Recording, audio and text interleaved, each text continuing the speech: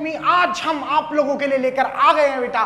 Dream batch का day number thirty eight ठीक है बेटा? तो 38 डे पर देखा बेटा धीरे धीरे धीरे धीरे धीरे धीरे हम लोग बेटा आखिरकार डे नंबर 38 पे भी पहुँचे गए बेटा। है ना? फिर हम डे नंबर 39 पे जाएँगे, ऐसे हम लोग डे नंबर 100 200 300 ऐसे में भी चले जाएँगे। बहुत ही जल्द। ठीक है बेटा? तो बेटा, आज का जो हमारा टॉपिक है बेटा, आज का जो हमारा टॉपिक है, वो हमारा फ्लूड मैकेनिक्स चल रहा है, जैसे आप सबको पता है बेटा। है ना? तो फ्लूइड मैकेनिक्स है, मेरे हिसाब से लेक्चर नंबर सिक्स है तो आज की क्लास में जो मैं आप लोगों को कराने वाला हूँ बेटा, वो कराने वाला हूँ आर्किमिडीज प्रिंसिपल क्या कराने वाला हूँ बेटा? आर्किमिडीज प्रिंसिपल जी हाँ सर तो सर आज का जो हमारा प्रॉपर प्रॉपर प्योर मुद्दा है बेटा प्योर मुद्दा, है ना? वो हमारा क्या है बेटा? वो हमारा आर्किमिडीज आर्किमिडीज आर्किमिडीज प्रिंसिपल ठीक है बेटा? प्रिंसिपल ठीक है बेटा? आर्किमिडीज मैंने पूरा नहीं लिखा क्योंकि बेटा मेरे को इसकी स्पेलिंग में कंफ्यूजन है। है ना बेटा? मेरे को इसकी स्पेलिंग नहीं आती है और बेटे मैं इस पे ज़्यादा ध्यान नहीं देता हूँ। ठीक है मैं कंसेप्ट पे ध्यान देता हूँ। तो भैया आर्किमिडीज अंकल थे बेटा। है ना बेटा? आर्किमिडीज अंकल थे। है ना बेटा? तो आर्किमिडीज अंकल ने क्या कहा? आर्किमिडीज अंकल ने कहा आर्किमिडीज अंकल ने कहा आर्किमिडीज अंकल ने पहली चीज़ तो ये कही कि भैया देख बात सुन। मैं कहता, भैया देख, बात ये है कि अगर मान लीजिए तेरा एक फ्लूइड रखा है। मैं ठीक है भैया। कहता, इस फ्लूइड में तो कोई चीज़ डिप करता है। क्या करता है? डिप करता है। मैं कहा, ठीक है भैया, कोई ऑब्जेक्ट मैंने डिप कर दिया इस फ्लूइड में। है ना बेटा? इस फ्लूइड के अंदर मैंने ये वाला ऑब्जेक्ट डिप कर दिया। मैं कहा बहुत बढ़िया बहुत बढ़िया। कहता भाई, जो ऑब्जेक्ट मैंने यहाँ पर डिप किया ना, इस फ्लूइड के अंदर जब मैंने डिप किया ये वाला ऑब्जेक्ट तो क्या हुआ? मैं कहा, देखते हैं भाई, देखते हैं, क्या ये वाला ऑब्जेक्ट क्या सीन है ये? मैंने कहा मैंने कहा कि, सर, अगर मैंने जो ऑब्जेक्ट डिप किया है है ना तो ये जो डिप्ड ऑब्जेक्ट है, ये जो डिप्ड ऑब्जेक्ट है बेटा है ना बेटा? ये क्या करेगा? ये कुछ फ्लूइड को डिस्प्लेस करेगा बेटा। ये क्या करेगा बेटा? कुछ फ्लूइड को डिस्प्लेस करेगा। है ना बेटा? कितना फ्लूइड डिस्प्लेस करेगा बेटा ये? ये जो फ्लूइड डिस्प्लेस करेगा बेटा, वो होगा बेटा volume of volume of object के बराबर। ठीक है बेटा? जितना हमारा वॉल्यूम ऑफ़ ऑब्जेक्ट है बेटा, उतना ही हमारा क्या होगा? वॉल्यूम ऑफ़ फ्लूइड डिस्प्लेस्ड ठीक है बेटा? Volume of fluid displaced. समझ में आ रहा है ना बेटा? कि भैया, जितना हमारा क्या होगा बेटा? जितना हमारा डिप्ड ऑब्जेक्ट है बेटा। अब ऑब्वियस सी बात है, इस ऑब्जेक्ट को डिप करूँगा, है ना बेटा? तो ये कुछ फ्लूइड डिस्प्लेस करेगा। कितना फ्लूइड डिस्प्लेस करेगा बेटा? जितना वॉल्यूम ऑफ़ ऑब्जेक्ट है, उतना ही हमारा वॉल्यूम ऑफ़ फ्लूइड डिस्प्लेस आएगा बेटा। ये हमारे आर्किमिडीज अंकल ने सबसे पहले कहा। मैं कहा, सर, इसके बाद क्या कहा? कहते भैया, इसके बाद इन्होंने एक बहुत ही प्यारी बात बोली कि अगर मैं कोई भी ऑब्जेक्ट को फ्लूइड के अंदर डालता हूँ बेटा तो उस पर एक अपवर्ड फोर्स लगता है। है ना बेटा? उस पर क्या लगता है? एक अपवर्ड फोर्स लगता है। है ना? आप सब लोगों ने भी एक्सपीरियंस किया होगा बेटा, कभी बाथरूम में नहाते नहाते, आहा, ठीक है बेटे? गुनगुनाते हुए, आहा, ठीक है बेटा? बाल्टी के साथ खेलते हुए, आहा, मग्गे को उल्टा करके मारा है। क्या बात है भैया, बिल्कुल मारा है। जब हम मग्गे को उल्टा करके मारते हैं तो देखा है ना, ऊपर की तरफ़ एक पुश आता है। है ना बेटा? उसको हम बोलते हैं बॉयंसी क्या बोलते हैं बेटा? बॉयंसी ठीक है बेटा? और उसको हम प्यार से क्या बोलते हैं बेटा? अपथ्रस्ट भी बोलते हैं। उसको हम प्यार से क्या बोलते हैं बेटा? अपथ्रस्ट भी बोलते हैं। अपथ्रस्ट ठीक है बेटा? यानी कि जब भी आप कोई ऑब्जेक्ट इसमें डिप करोगे बेटा, है ना? तो इस पर ऊपर की तरफ़ एक रेजिस्टिव फोर्स लगेगा, जिसका नाम क्या होगा? अपथ्रस्ट ठीक है बेटा? जिसका नाम क्या होगा? अपथ्रस्ट मैं ठीक है सर मैं कहा, सर, ये अपथ्रस्ट के बारे में थोड़ी जानकारी दीजिए। मैंने कहा, सर, ये अपथ्रस्ट फोर्स होता है कहता हाँ जी, सर फोर्स होता है। मैंने कहा, सर, किसके बराबर होता है? मैंने कहा, देख भाई, बात ऐसी है, बात ऐसी है कि अगर मान लीजिए तेरा फ्लूइड है, ये तेरा ऑब्जेक्ट है जो कि डिप हुआ है इसके अंदर, है ना बेटा? ये तेरा ऑब्जेक्ट है जो कि इसके अंदर क्या हुआ है? डिप हुआ है है ना? अब भाई ऑब्वियस सी बात है, इसका खुद का कुछ मास होगा तो नीचे की तरफ़ क्या लग रहा होगा बेटा? एम इंटू जी है ना बेटा, इसका खुद का कुछ मास है है ना बेटा? तो ऑब्वियस सी बात है, नीचे की तरफ़ क्या लग रहा होगा? एम इंटू जी लग रहा होगा, है ना बेटा? और ऊपर की तरफ़ अपथ्रस्ट है बेटा। ऊपर की तरफ़ अपथ्रस्ट है। अपथ्रस्ट किसके बराबर होता है बेटा? एम डैश जी के बराबर।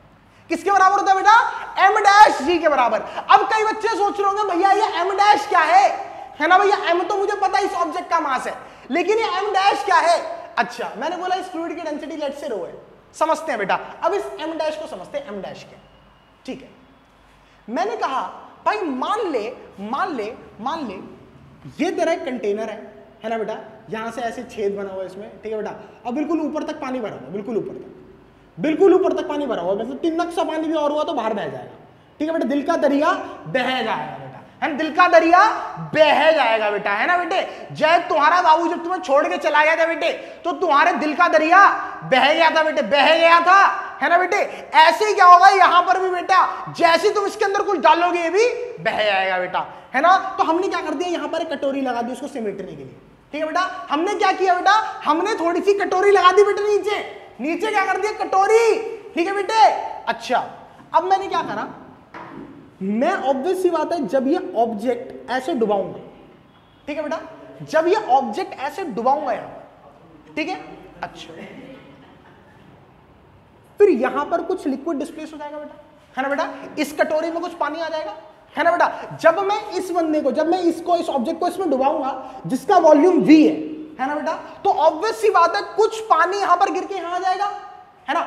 इस पानी का जो मास होगा ना बेटा, इस पानी का जो मास होगा, वो होगा एम डैश ठीक है बेटा? इस पानी का जो मास है बेटा, वो क्या है? एम डैश और एम डैश जी यानी कि इस पानी का जो वेट है बेटा एम डैश जी इतना ही क्या करता है बेटा? कोई भी फ्लूड हमारे पर बायंसी या फिर अपथ्रस्ट लगाता है। इसको फाइंड कर लेते हैं, कोई दिक्कत, परेशानी नहीं है। अभी आपको बताया कि भैया, जितना इसका वॉल्यूम होगा, उतना ही इसका भी वॉल्यूम होगा। वॉल्यूम दोनों के सेम होंगे। अभी बताया था आर्किमिडीज अंकल ने कि भैया, जो डिप्ड और डिप करते हैं अगर हम कोई ऑब्जेक्ट तो फ्लूइड डिस्प्लेस करता है।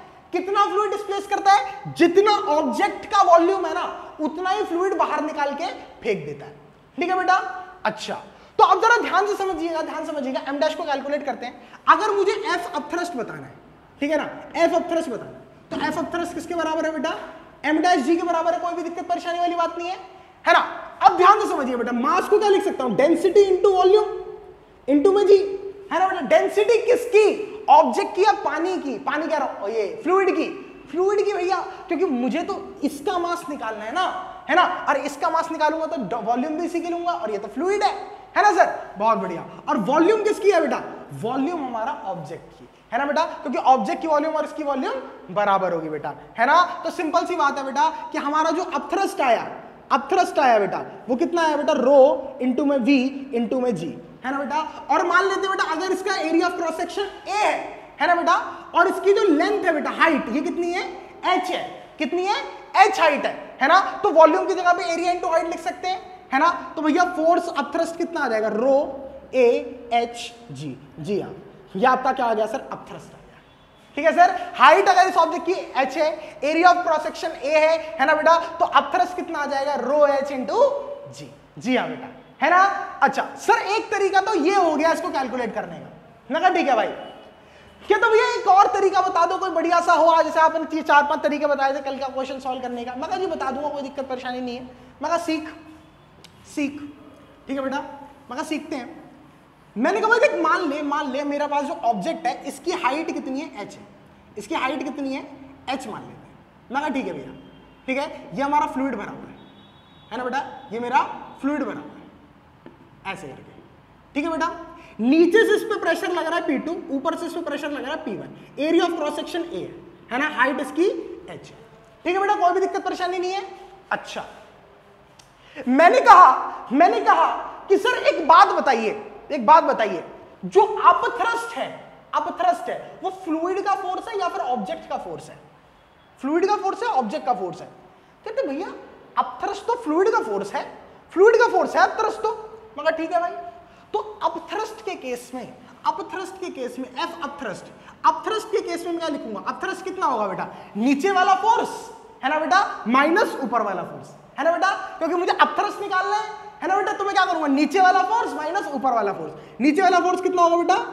पी टू इंटू ए ऊपर वाला फोर्स कितना होगा बेटा? Minus P one into A ठीक है बेटा? तो अपथ्रस्ट कितना आ गया बेटा? अपथ्रस्ट आप लोगों का आ गया P two into A minus P one into A ठीक है बेटा? एकदम बढ़िया तरीके से आप लोगों को बात समझ में आ रही है। एकदम कूल एकदम कूल तरीके से बात समझ में आ रही है बेटा कि अपथ्रस्ट जो हमारा हो गया that is P two into A minus P one into A जी हाँ बेटा। है ना? अब कई बच्चे सोचेंगे बेटा कि भैया यहाँ पर तो एम लग रहा होगा। वो क्यों कंसिडर नहीं किया? बेटा एमजी तो ऑब्जेक्ट का फोर्स है ना। एमजी तो ऑब्जेक्ट का फोर्स है। लेकिन मैं क्या देख रहा हूँ? मैं देख रहा हूँ फ्लूइड के फोर्सेस सिर्फ़। मैं सिर्फ़ और सिर्फ़ अभी क्या देख रहा हूँ? अपथरस की बात कर रहा हूँ, यानी कि फ्लूइड के फोर्सेस की बात कर रहा हूँ। इसीलिए मैंने वहाँ पर, इसीलिए मैंने वहाँ पर क्या कंसिडर नहीं कर रहा हूँ? एमजी कंसिडर नहीं कर रहा हूँ।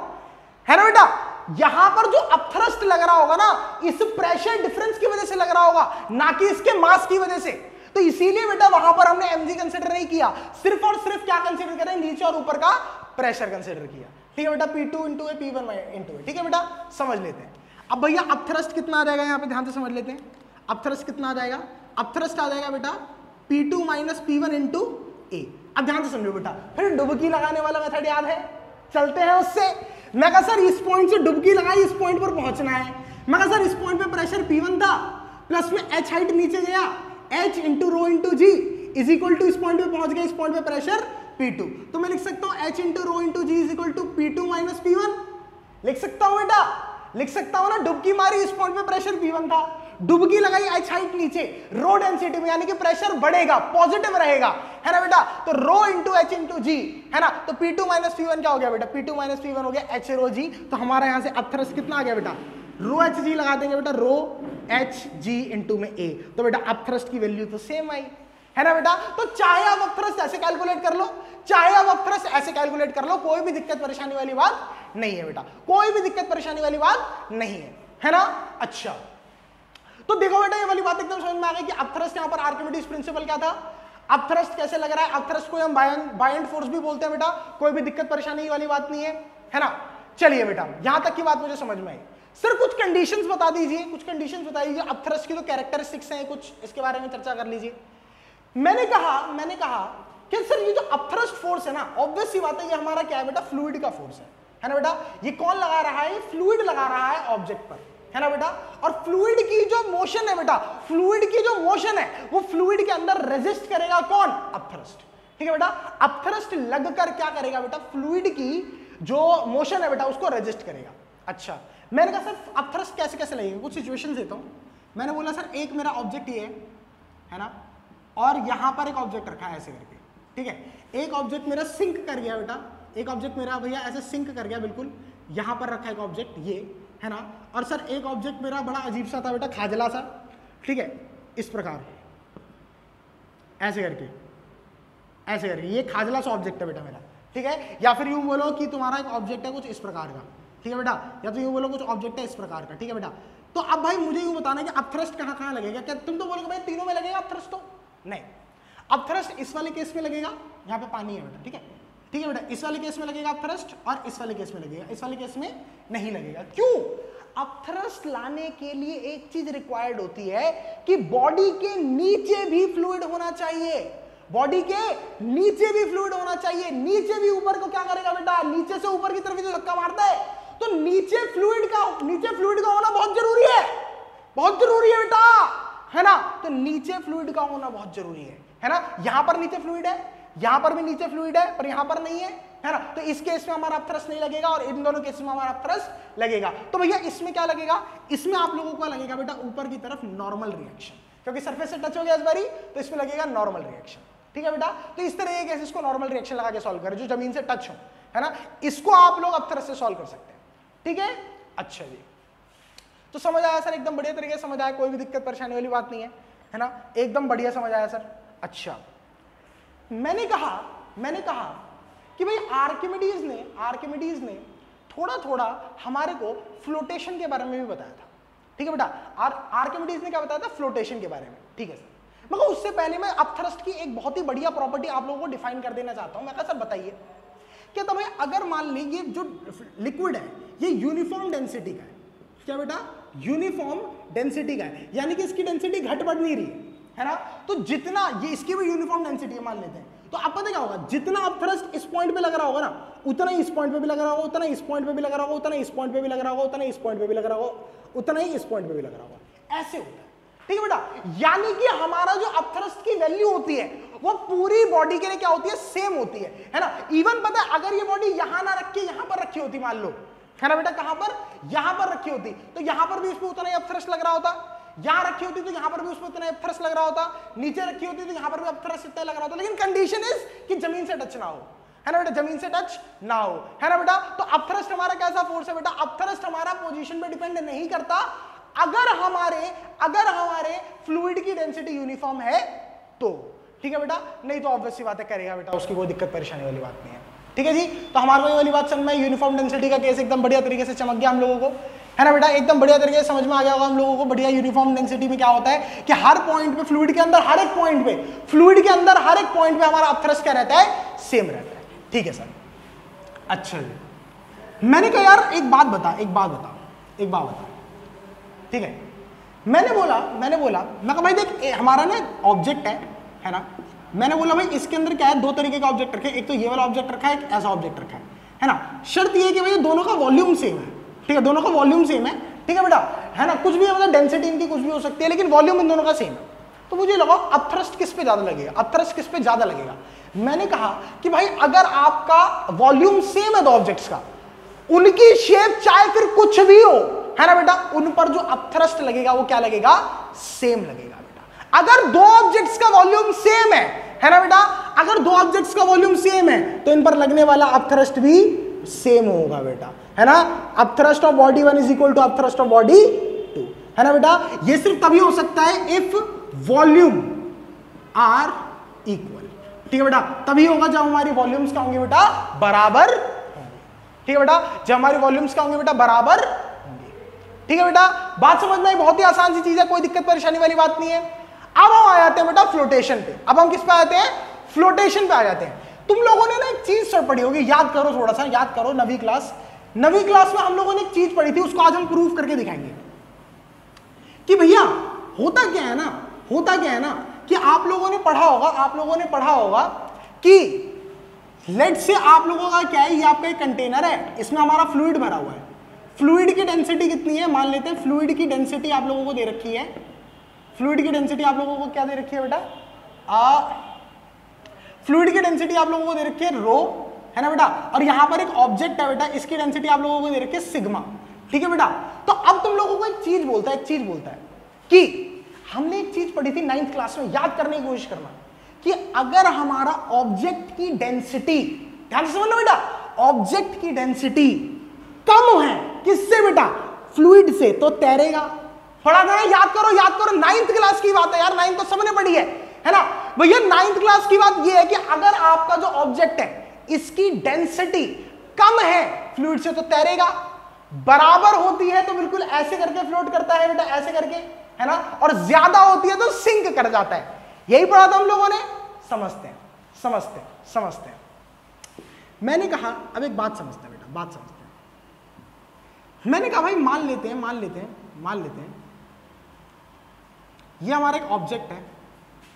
ठीक है बेटा? ये हमारा एक ऑब्जेक्ट है। ठीक है? कुछ इस प्रकार। ठीक है जी? है ना? इसका कुछ पार्ट बाहर और कुछ पार्ट अंदर है। है ना बेटा? कुछ पार्ट बाहर और कुछ पार्ट अंदर है। इसका पूरा जो वॉल्यूम है, इसका पूरा वॉल्यूम है वॉल्यूम ऑफ़ ऑब्जेक्ट ठीक है बेटा? और इसका जो ये सिर्फ़ इमर्ज्ड वाला वॉल्यूम है, ये इमर्ज्ड वाला वॉल्यूम ठीक है बेटा? इमर्ज वाला वॉल्यूम हम ले लेते हैं वी इमर्ज्ड ठीक है बेटा? क्या है बेटा ये हमारा? वॉल्यूम इमर्ज्ड ठीक है बेटा? ये हमारा क्या? वॉल्यूम ऑफ़ ऑब्जेक्ट ठीक है? अच्छा।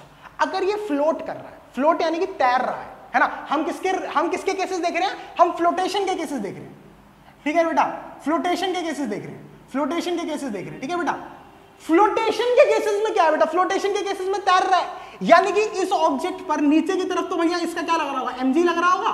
ऊपर की तरफ़ क्या लग रहा होगा बेटा? ऊपर की तरफ़ लग रहा होगा। अपथ्रस्ट कोई भी दिक्कत वाली बात नहीं है बेटा। नीचे की तरफ़ एमजी ऊपर की तरफ़ अपथ्रस्ट ठीक है बेटा? अब नीचे की तरफ़ अगर इस पे एमजी लग रहा है बेटा, ध्यान से समझिएगा। नीचे की तरफ़ अगर इस पे एमजी लग रहा है, ऊपर की तरफ़ अपथ्रस्ट लग रहा है और ये फ्लोट कर रही है बॉडी तो ऑब्वियस सी बात है कि बेटा अपथ्रस्ट जो होगा वो एमजी के बराबर होगा। है ना बेटा? फ्लोट करने के लिए तो ये कंडीशन चाहिए ना बेटा? तैराने के लिए तो ये कंडीशन चाहिए कि MG MG must be equal to upthrust जी हाँ। अच्छा अपथ्रस्ट की वैल्यू अभी हमने लिखी थी।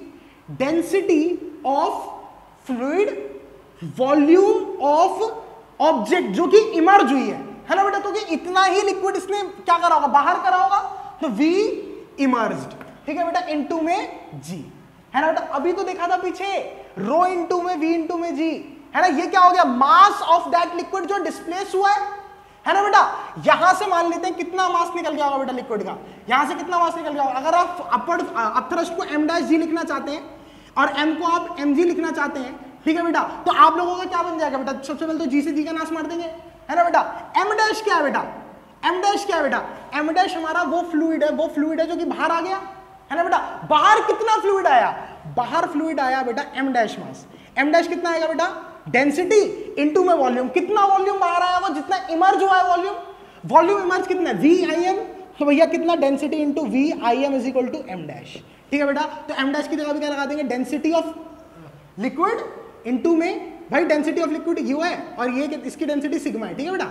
इनटू में वी आई एम और इस पूरी बॉडी का मास कितना होगा? पूरी बॉडी का मास क्या होगा पूरी बॉडी का वॉल्यूम इनटू में बॉडी की डेंसिटी बॉडी की डेंसिटी कितनी है बेटा? सिग्मा है ना? और बॉडी का वॉल्यूम कितना है? वी ओ ठीक है? अब देखना जरा अब देखना अब ध्यान से समझो बेटा, v इमर्ज अपॉन में v object is equal to क्या आ गया? सिग्मा अपॉन रो आ गया। कोई भी दिक्कत, परेशानी वाली बात नहीं है। एकदम ज़बरदस्त तरीके से समझ आ रहा है हम लोगों को कि भैया जो वी इमर्ज अपॉन में v o है बेटा, वो हमारा सिग्मा अपॉन रो आ रहा है। है ना बेटा? सिग्मा अपॉन रो क्या है बेटा? ये हमारा डेंसिटी ऑफ़ ऑब्जेक्ट है, ये हमारा डेंसिटी ऑफ़ फ्लूइड है बेटा। अब ध्यान से समझिएगा, अब ध्यान से समझिएगा फ्लोटेशन के केस फ्लोटेशन के केस ध्यान से समझिएगा। अगर आपका जो वॉल्यूम इमर्ज्ड है, ठीक है बेटा? वो लेस देन है लेस देन है किससे? वॉल्यूम ऑफ़ ऑब्जेक्ट से। है ना बेटा? यानी कि देख रहे हो यहाँ पर वॉल्यूम ऑफ़ इमर्ज जो है वॉल्यूम ऑफ़ ऑब्जेक्ट से कम है। तो तैर रहा है बेटा? तैर रहा है बेटा? ऊपर ही ऊपर तैर रहा है बेटा? फ्लूइड के ऊपर तैर रहा है। है ना बेटा? कि जो हमारा इमर्ज वॉल्यूम है इमर्ज वॉल्यूम है है ना? वो हमारा कम है टोटल वॉल्यूम ऑफ़ ऑब्जेक्ट से। है ना बेटा? तो कंडीशन क्या बनेगी? देख लेते हैं। हम लोग लिख सकते हैं बेटा इसको केस वन ठीक है बेटा? V इमर्ज अपॉन में v object less than less than कितना हो गया? वन हो गया? कोई दिक्कत वाली बात नहीं है। V इमर्ज अपॉन में v object volume of object less than यहाँ पर वन रह जाएगा। अब v इमर्ज अपॉन v की जगह क्या लगा सकते हैं? सिग्मा अपॉन रो है ना बेटा? क्या देगा? Sigma upon rho less than one ठीक है बेटा? तो यहाँ पर क्या आ जाएगा सिग्मा लेस देन रो यही तो कंडीशन हम लोगों ने पढ़ी थी कि density of object must be less than density of fluid तभी वो ऊपर क्या करेगा? फ्लोट करेगा। है ना बेटा? अच्छा। अब हमने एक कंडीशन और पढ़ी थी कि अगर ये इस तरीके से कंप्लीटली मर्ज कर जाता है कंप्लीटली मर्ज कर जाता है कंप्लीटली मर्ज किस कंडीशन पे करता है? जब हमारा दोनों का वॉल्यूम सेम हो, यानी कि sigma is equal to rho हो जाए, तभी करता है। है ना बेटा? देख लेते हैं इसको भी। सेकंड वाला केस जब हमारा volume immerse is equal to volume of object हो जाए, है ना बेटा? तब की कंडीशन चेक कर रहा हूँ मैं। जब हमारा क्या हो जाए बेटा? वॉल्यूम इमर्ज जो है बेटा, वो हमारा वॉल्यूम ऑफ़ ऑब्जेक्ट के बराबर हो जाए। है ना बेटा? क्योंकि यहाँ पर तो पूरा का पूरा इमर्ज हो चुका है बेटा ये। लेकिन अभी भी फ्लोट कर रहा है। सिंक नहीं किया फ्लोट अभी भी कर रहा है। है ना बेटा? तब हमारा कंडीशन क्या बनेगी बेटा? तब हमारी कंडीशन क्या बनेगी? तब की हमारी कंडीशन क्या रहेगी बेटा? ध्यान से देखो V immerse equal to V हो तो अगर भाई ये दोनों बराबर होगा तो भाई वन आ जाएगा। यहाँ पर क्या बचेगा?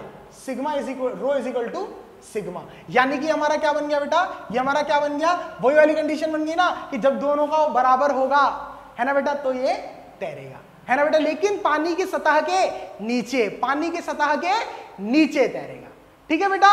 अच्छा अब तीसरा केस आता है बेटा सिंकिंग का केस अब भाई ये केस वन है केस टू है।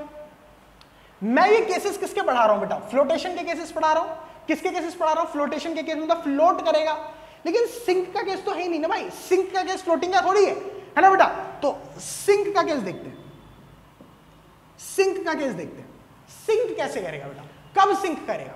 ध्यान से समझते हैं। मैंने कहा मैंने कहा, भैया, एक बात बताओ, एक बात बताओ, एक बात बताओ। सिंक तब कर जाएगा, सिंक तब कर जाएगा, है ना? जब हमारा जब हमारा density of object density of object यानी कि सिग्मा ज़्यादा हो किससे बेटा? डेंसिटी ऑफ़ इससे, है ना बेटा? तो ऑब्वियस सी बात है बेटा ऑब्वियस सी बात है, अगर मेरी डेंसिटी इसकी ज़्यादा है है ना बेटा? डेंसिटी इसकी ज़्यादा है तो भैया एमजी डोमिनेट करेगा। एमजी वाला फोर्स डोमिनेट करेगा और अब थ्रस्ट कम पड़ जाएगा। तो इसीलिए बेटा वो क्या हो जाएगा? सिंक होकर बिल्कुल बॉटम पर आ जाएगा बेटा। सिंक होकर क्या आ जाएगा बेटा? बॉटम पर आ जाएगा। तो सिंकिंग का केस ही है। है ना बेटा? कि अगर हमारी डेंसिटी ऑफ़ ऑब्जेक्ट ज़्यादा हो गई फ्लूइड से तो ऑब्वियस सी बात है बेटा ऑब्वियस सी बात है कि जो नीचे की तरफ़ जो एमजी फोर्स लग रहा है बेटा एमजी फोर्स लग रहा है, वो आपका डोमिनेट करेगा और क्या हो जाएगा बेटा? ज़मीन पे आ जाएगा। ठीक है बेटा? तो ये वाली बात समझ में आप लोगों को एकदम बढ़िया तरीके से। ये हमारा फ्लोटेशन के केसेस है बेटा। है ना? ये हमारा क्या बेटा? फ्लोटेशन के केसेस है बेटा। कि हमारा ये होगा तो क्या होगा? इक्वल होंगी डेंसिटीज तो क्या होगा? है ना? अगर डेंसिटी ऑफ़ ऑब्जेक्ट ज़्यादा हो गई तो वो सिंक कर जाएगा। है ना बेटा? ये कुछ केसेस हमारे बनते हैं। ठीक है? अच्छा। अब कई बच्चों का सवाल मेरे पास आता है कि भैया, अगर मान लो हमारा जो फ्लूइड है, उसकी डेंसिटी चेंज हो रही है है ना? तो हमारा क्या लगेगा बेटा? तो हमारा क्या लगेगा? समझते हैं बात को। समझते बात को। समझते बात को आहा, क्या बात है बेटा। आज हमारे पास कागज़ भी नहीं है। देख रहे हो तुम कितनी गरीबी है। ठीक है, हमारे पास खत्म हो गए कागज़। फिर हमने सोचा थोड़ा सेव ट्रीज कर लेते हैं बेटा, है ना? मतलब पेड़ बजाओ वो कर लेते हैं बेटा। तो हम लोगों ने आज सोचा अपना हाथ जगन्नाथ। ठीक है बेटा? चलो। ठीक है, वैसे हमारे पास डस्टर आ चुका है है ना बेटा? उसको मतलब टीका वीका करेंगे अभी हम लोग। ठीक है बेटा? हल्दी, कुकू, चंदन लगाएँगे उसको, फिर उसके बाद ही उसको यूज़ कर पाएँगे, ऐसे यूज़ नहीं कर पाएँगे उसको। है ना बेटा? चलो। देखो बेटा, एक बात समझो। क्या बता रहा था मैं तुम्हें? क्या बताने वाला था? एक तो तुम बातों में लगा लेते हो ना मुझे। मैं टॉपिक भूल जाता हूँ क्या कराने वाला था। ठीक है? क्या बताने वाला था? कुछ याद तो दिलाओ, कुछ तो याद दिला दिया करो, कभी तो याद दिलाया करो मुझे। कभी याद, ठीक है। याद आ गया मेरे को, ठीक है ना? देखो, मैं करा रहा था, मैं करा रहा था बेटा। Upthrust in liquid of variable density variable density ठीक है बेटा? तो ध्यान से देखो, बहुत ही आसान है, तुम लोग आराम से बना लोगे। आराम से बना लोगे मुझे नहीं लगता किसी बच्चे को दिक्कत आएगी। मैंने बोला, भाई, ये मेरे एक ऑब्जेक्ट है, इसकी हाइट यहाँ से एच बाय टू है। है ना बेटा? यहाँ पर। ठीक है बेटा? है ना? और ये वाली हाइट कितनी है बेटा? ये वाली हाइट एच है। ठीक है बेटा? तो अब मैंने बोला, अब मैंने बोला कि भाई, मुद्दा ये है कि ये वाला जो लिक्विड है ना, यहाँ पर जो लिक्विड है बेटा, इसकी डेंसिटी आप लोगों को दे रखी है रो और जो नीचे वाला लिक्विड है बेटा, ये वाला, ये ये, इसकी डेंसिटी आपको कितनी दे रखी है बेटा? इसकी डेंसिटी आपको दे रखी है कितनी? टू रो ठीक है बेटा? टू रो है ना? तो अब आपको लगाना है नेट नेट अपथ्रस्ट कितना लग रहा होगा इस पर सिंपल है।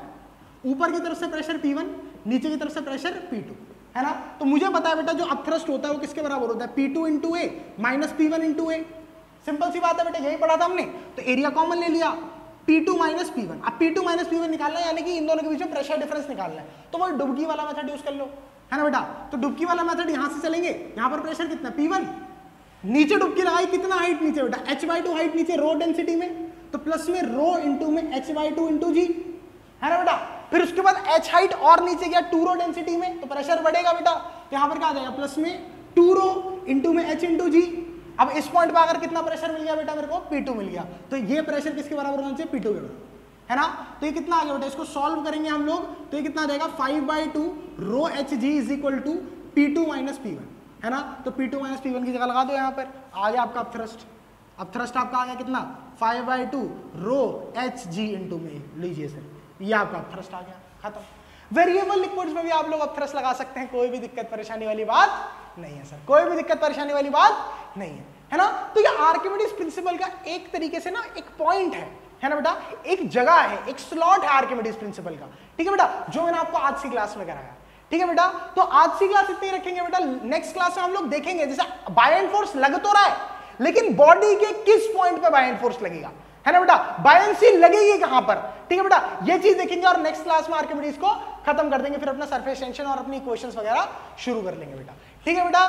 तो आज की क्लास में इतनी बेटा, मिलते हैं आप लोगों से नेक्स्ट क्लास में। अगर आपको ये बैच अच्छा लग रहा हो बेटा तो आप इस इस बैच की वीडियोस को लाइक करें शेयर करें बेटा कमेंट करके बताएँ कि कैसी लग रही है। और बेटा चैनल को सब्सक्राइब करना ना भूलें बेटा।